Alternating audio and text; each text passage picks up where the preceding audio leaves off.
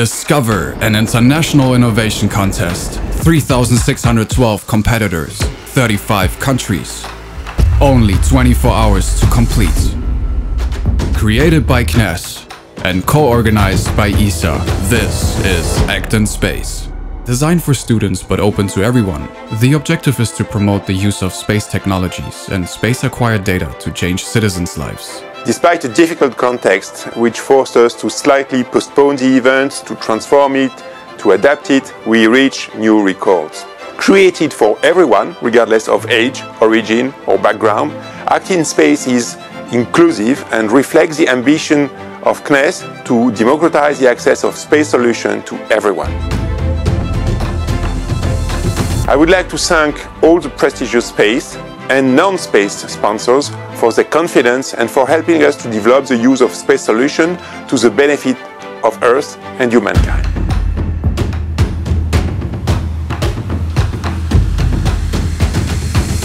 ActInSpace, which we are happily partnering with our colleagues from CNES and a lot of other industry players, looks for new ideas, new challenges, new things. Where are our kids? Where are our dreams and uh, where is our curiosity? Who find these dreams?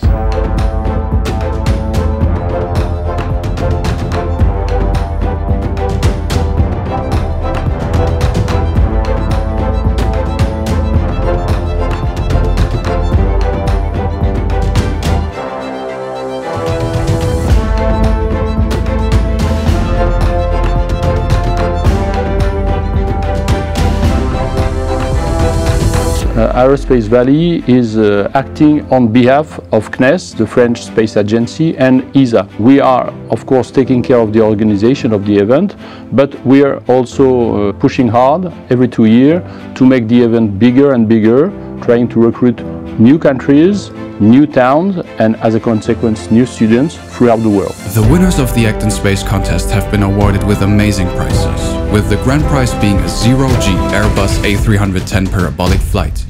So we are all uh, space enthusiasts and uh, it was uh, so great uh, opportunities to participate uh, at this contest which is uh, organized by the prestigious Space French Agency. Have you ever dreamt of working with technologies developed for the conquest of space, or those made to make a rocket launch? Stop dreaming and start doing. ActInSpace is the only contest in the world that offers the chance to work on CNES and ESA patents.